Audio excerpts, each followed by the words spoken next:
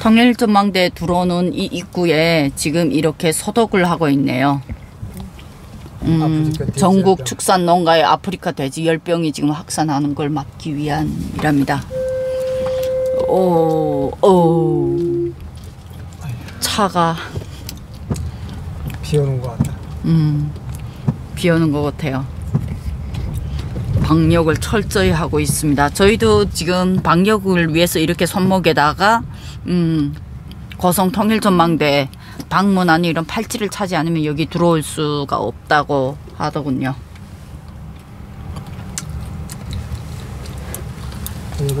이제 저 위로 저기로 이제 올라가야 되는 거죠 저희가 올라가서 또 영상 올라가면서 찍겠습니다. 통일전망대 전경입니다. 멋있죠? 놓친 사람이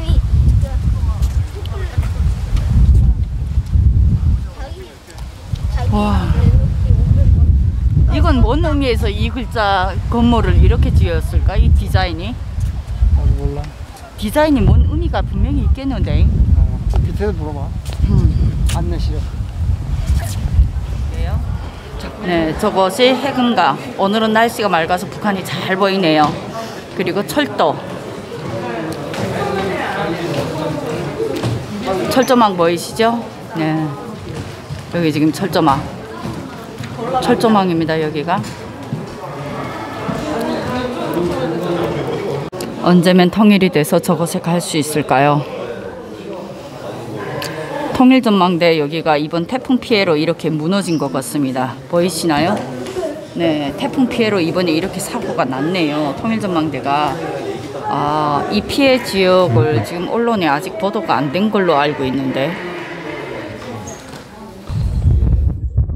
3층 전망대에서는 이렇게 보입니다.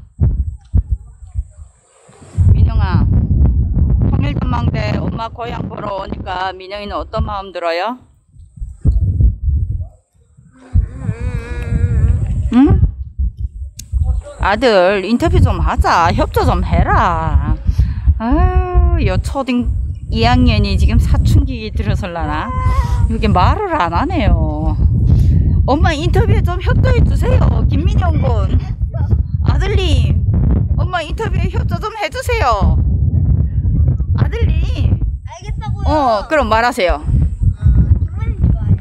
왜 기분이 좋아요? 엄마는 고향 못 가서 슬퍼 죽겠는데? 엄마 고양이를 보니까요. 아 보는 것만이라도 민영이 기분이 좋아요? 아, 말이 된다 야 진짜 말이 되네요 엄마 슬퍼 죽겠는데 아들은 엄마 고향을 볼 수가 있어서 기분이 좋대요 아 저게 말이 될 줄 몰랐습니다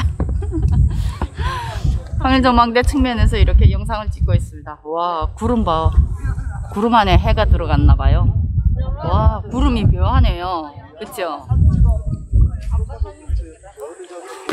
구름이 묘하네요. 오, 아빠, 저 구름 봐, 구름. 야, 오. 구름이 완전 묘하네요. 야, 너 멀어. 아빠는 또 아들을 카메라맨으로 세우고 자기는 또 사진 찍고 있습니다. 야, 이런 아빠 있을까요? 아들은 또 그걸 또 사진 찍고 있어요. 어.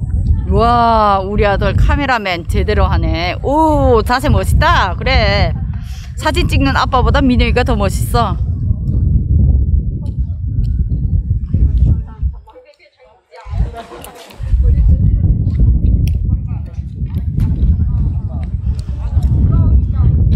됐죠? 민영이가 사진 찍고 아빠가 카메라를 들어야 되는데 우리 집안은 이렇게 거꾸로 됐습니다. 민영이가 그래도 뭘 좀 아네요. 여기 6.25 전쟁 시기에 순직자 명단이 이렇게 있네요. 와. 어, 많은 분들이 희생됐습니다. 인원수는 지금 어디에 안 나온 것 같고요. 저 앞에. 음, 이 뒤에 이렇게 사단 창설 이후 순직자 명단 밑에 보이시나요? 네.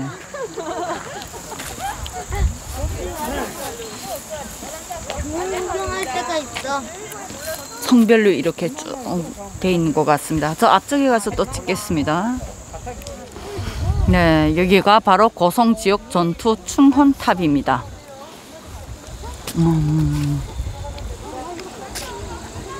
앞에는 이렇게 돼 있지만 이 뒤에는 저 위에 통일전망대에서 내려서 보게 되면 아까 제가 보여드렸던 네그 전사자 명단이 있죠. 민영이 찾아봐. 민영아 어디가 내려와. 저희 아들이 또 사라졌습니다. 저 똥강아지 아들이 걸핏하면 사라집니다.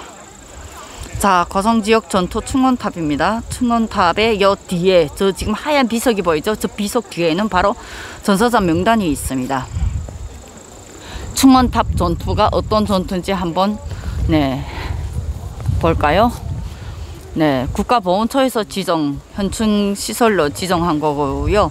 고성 지역 전투 충원탑라고 돼 있습니다.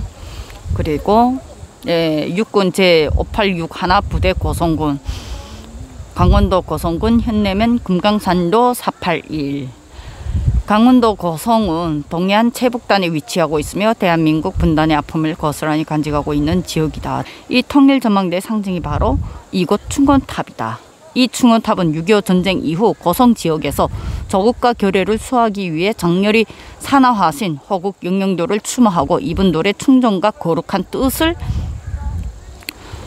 기리고자 육군 제586 하나 부대와 고성군이 함께 건립한 추모탑이다. 이 고성군 건봉사에는 6.25 전쟁 당시 수, 순직자 전공 64명과 사단 창설 이후 순직자 194명의 추모를 위해 위패를 모시고 있다. 아까 제가 보여드렸던 그 하얀 비석 뒤에 순직자 이름 있죠. 그분들이 전체 지금 네, 6.25 전쟁 당시 순직자는 1064명이고 사단 창설 이후 순직자 그분들은 194명인 걸 그분들의 위패가 지금 여기 모셔져 있다고 합니다. 참 의미 깊은 곳입니다. 대한민국 국민들이라면 명절 연휴 때 꼭 이런 곳에 와서 이런 고성 지역 전투 충원탑을 꼭 돌아보시기 바랍니다. 뭐 이건 여기에 이 통일전망대에 왜 이게 있는 거고? 어 이거는 천주교에서 통일을 기원하기 위해서 어? 음. 여기 모든 사람들 오면서 여기 전도하는 거지. 아, 그래서 북한을 향해서 지금 저렇게 있네. 어 북한 땅이 열리라고. 아, 북한 땅이 열리게 해달라고. 네, 통일민족으로. 응? 이건 뭐예요? 이거 이거는 하나하나 해설을 좀 부탁드립니다. 글씨가 뭐냐? 헌, 헌단이야, 헌단. 나도 이거 한문은 잘 모르겠네. 그럼 이건 뭐야? 망배단. 음, 북한에다가 음. 북한을 향해서 이게 저렇게 한 거지. 아. 여기서 차례를 지내는 거구나. 매번 올라와서 저 전망대 쪽으로만 올라갔지. 아, 여기 못 올라가게 막았네.